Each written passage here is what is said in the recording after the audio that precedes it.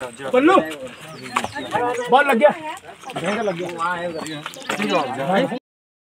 Welcome back to my new blog और guys finally वो दिन आ गया जब हम लोग गाँव से देहरादून जा रहे हैं और दस बारह दिन थे वो कैसे निपटे कुछ पता ही नहीं। और अभी मैं नहाने जा रही हूँ। इन लोगों को कब से उठा रही हूँ, क्योंकि यहाँ पे टाइम से ही गाड़ियाँ आती है टाइम से ही जाती हैं। और वरना फिर आपको फिर बुक करके ले जानी पड़ेगी या बड़कोट तक जाना पड़ेगा। तो मैं अभी जल्दी से जा रही हूँ नहा के आती हूँ तैयार हो जाती हूँ और फिर उसके बाद ब्रेकफास्ट करना है इन सबको भी उठा के तैयार करना है।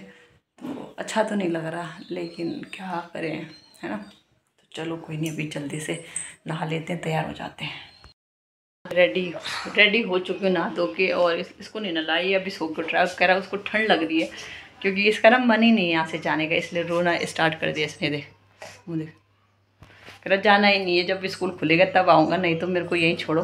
तो अब जल्दी से रेडी होते हैं और ब्रेकफास्ट करते हैं, निकलते हैं।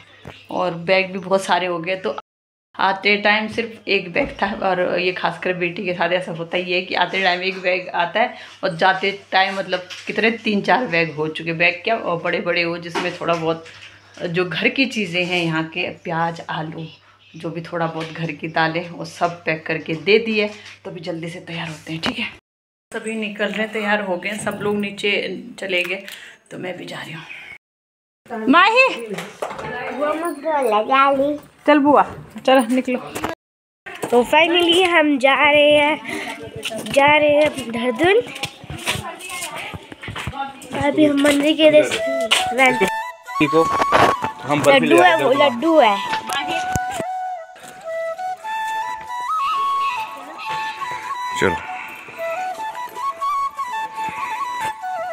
Mm-hmm.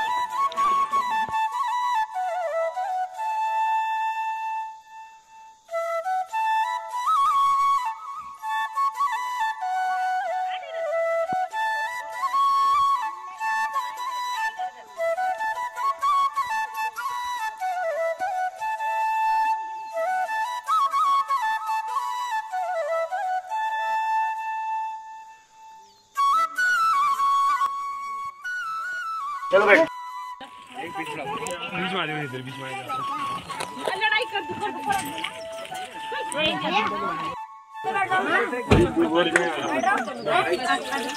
पल्लू बॉल लग गया। महँगा लग गया अभी तो पकड़ पीछे लगा दिया मैंने। मेरे भाई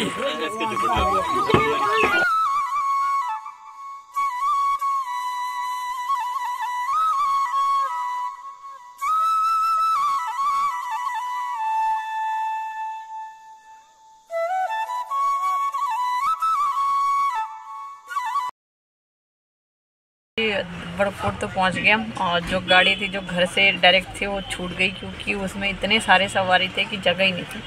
तो अब यहाँ बड़कोट से करेंगे छोटी टैक्सी तो देखो, अभी जा रखे हैं हस्बैंड पूछने के लिए और भाई जो हमें छोड़ने आ रखे हैं तो कहाँ से कितनी क्या मिलती है।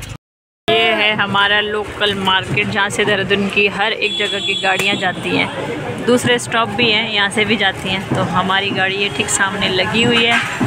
हमने सीट रखी थी उसमें। वो वाली उधर वाली। भगवान जी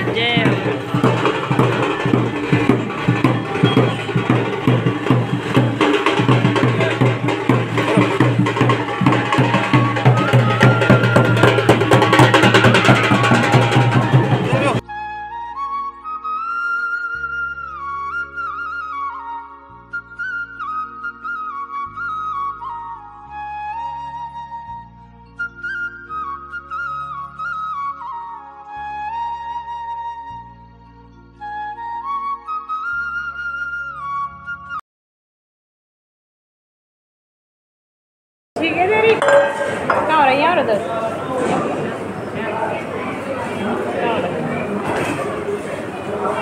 क्या खाएगा खाने में मम्मी भी नहीं खाएगी मम्मी की भी तबीयत खराब हो रही है खराब हो रही है इन लोगों को देखो जरा खा खाना खा रहे आइसक्रीम खा रहे क्या बोल मांग बोला रहे तो अभी रुके हुए हैं हम खटोना विकास नगर तो पहुँच चुके हैं थोड़ा ही रह रखा है यहाँ पे इसलिए रुके क्योंकि बारिश आने लगी तो हमारा सामान है ना छत पे आटे चावल है, कहीं भीग ना जाए तो इसलिए भैया उसको कवर कर रहे हैं। देखो सब के सब उतर रखे हैं। हम लोग पहुँच चुके हैं देहरादून और अभी बैठ गए हैं ऑटो कर लिए अपने घर के लिए और मेरी तबीयत इतनी ख़राब हुई थी ना कि बहुत ज़्यादा। तो अभी घर चलते फिर आप ही है। बोलता है। गाड़ी में भी ना मैं सुन रही थी, मुझे वॉमिटिंग हो रही थी। ये बस बातें कर रहा, बातें कर रहा है। क्यों? इतनी बातें क्यों करता है? ये देख ये देख। अभी भी चुप अभी भी चुप नहीं रहता हम लोग पहुँच चुके हैं घर। पहुँच तो हम लोग पहुँच गए थे चार बजे, लेकिन जैसे कि मेरी तबीयत बहुत ज़्यादा ख़राब हो गई थी गाड़ी में तो मैं आके सीधे सो गई और अभी उठ रही हूँ छः बजे। तो अभी जैसे उठे, क्योंकि मैंने खाना कुछ खाया ही नहीं था। और हस्बैंड ने फटाफट से भाई से मंगाई होगी, बाहर से नूडल और घर पे ही बनाई। तो बोला, उठ जाओ खा ले कुछ, क्योंकि मैंने बिल्कुल भी रास्ते में पानी तक नहीं पिया। जब मेरी तबीयत ख़राब होती तो मैं कुछ भी नहीं खाती हूँ। देखो, ये बना दिए हस्बैंड ने नूडल्स, घर पे बनाए। अब खाते हैं, क्योंकि भूख भी लग रही है। मुझे नहाना था, लेकिन मैंने सोचा कि सबसे पहले मैं जो कपड़े हैं तो जितना मुश्किल पैकिंग करनी होती है, उससे ज़्यादा मुश्किल समेटना होता है। तो कपड़े तो मैं सारे धो के लाई हूँ, वहीं मायके से। सिर्फ़ वही कपड़े हैं जो मतलब हम लोगों ने पहन रखे थे और सबके सब धो लाए। तो भी मैं सोचूँ कि पहले बैग को खाली कर देते हैं, पूरा समेट देते हैं, रख देते हैं अलमारियों में, और कपड़े सारे। उसके बाद ही नहाने जाऊँगी। तब थोड़ा सा मतलब ये है कि जो थकान है वो उतरेगी। तो पहले ये काम कर लेते हैं, ये ज़रूरी है। तो भाई, आज का जो डे था काफ़ी अमेजिंग रहा और काफ़ी अच्छे तरीके से निपट गया। तो अभी मैं शाम को थोड़ा सा नहा गई थी क्योंकि गुड मॉर्निंग आज है नेक्स्ट डे और जैसे कि हम लोग पहुँच चुके हैं देहरादून और यहाँ तो ऐसा नहीं कि कोई बना के मेरे ब्रेकफास्ट देगा, खुद बनना। तो आज सुबह सुबह हम क्या खा रहे हैं? मैं स्पेशली और तो खा लिया जिन्होंने जो खाना है। स्पेशली मैं क्या खा रही हूँ? गरम करा ये जो हमारे यहाँ मैंने दिखाया दिखाया था आपको कि मेरे माने मेरे लिए सीढ़े बनाए थे। और कुछ और एक्स्ट्रा बनाए थे उन्होंने, जो देहरादून के लिए भेजे उन्होंने, भाई के लिए भी। तो मैं लेके आई और ये अभी चार बचे हुए हैं, एक उसने खा लिया था। तो मैं सोच रही हूँ कि एक या दो मैं अभी सुबह ब्रेकफास्ट में खाऊँगी तो मैं ये खा रही हूँ। फास्ट तो ये चाय और सीढ़े खाएँगे और मुझे इतने पसंद है कि मैं खा लूँ इनको चार दिन तक। तो मैं तो यही खा रही हूँ भाई, और लोग देखो क्या खाते हैं। आए हैं तो अभी घर की साफ़ सफ़ाई करनी इतने दिन तक भाई था वो बहुत बिज़ी रहता है तो ढंग से साफ़ सफ़ाई भी नहीं करा। और जो घर से इतना सारा सामान लाना है उसको भी समेटना है। कपड़े तो समेट दिए थे लेकिन सामान नहीं समेटा है ना? और हमारा ये सुबह सुबह उठ गया। और तू क्या खाएगा? कुछ नहीं। कुछ नहीं? ब्रेकफास्ट नहीं करेगा? क्यों? नानी गैस इतना खा के आ रखा चिकन आज मंगलवार है क्या?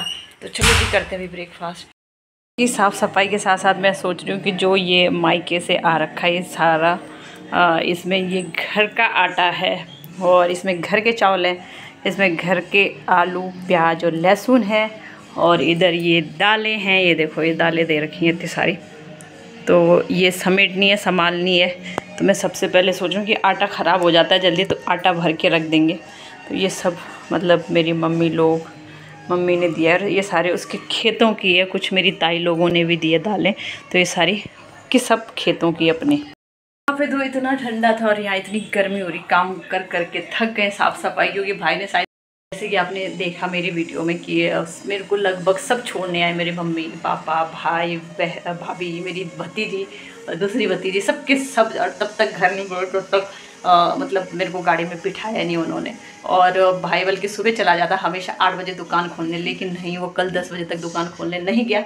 जब तक मेरे को बिठाया नहीं तब तक वो भी नहीं गया। और मतलब होता है ना कि एक बेटी के लिए मायके वाले ना इतना वो रहते हैं मतलब कितना कुछ करते हैं और फिर भी उनको लगता है कि उन्होंने बहुत कम करा। तो चार बैग हो गए थे हमारे पास ऐसे कल लाते लाते। और फिर भी मतलब मेरी माँ और ख़ासकर मेरी भाभी उनको लग रहा था कि जितना भी है कमी है।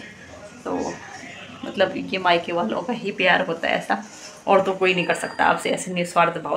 कल तो ज़्यादा वीडियो भी नहीं बना पाई, तबीयत ख़राब और मैं इतने इमोशनल भी थी कि मतलब बहुत ख़राब लग रहा था। या नौ दस दिन तक रहना वहाँ, माँ के हाथ का खाना, भाभी के हाथ, सब गाँव में फ्रेंड लोग तो जब मायके से आते हैं ना, जाते टाइम तो इतना खुश हो रहे, मायके जा रहे, मायके जा रहे। आते टाइम इतना उदास हो जाता है कि मन ही नहीं करता आने का, लेकिन क्या करें? एक रीत है। कि बेटी पराया हो जाए तो उसे अपने घर आना ही पड़ता है।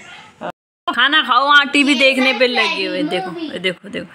पुलाव बनाया है जिस दिन में आज दही के साथ, क्योंकि काम इतना ज़्यादा हो गया था कि बज गए हैं तीन तो हमने जल्दी झटपटा से बनाया पुलाव, और पुलाव हस्बैंड ने बनाया आज तो दही के साथ खाने जा रहे हैं।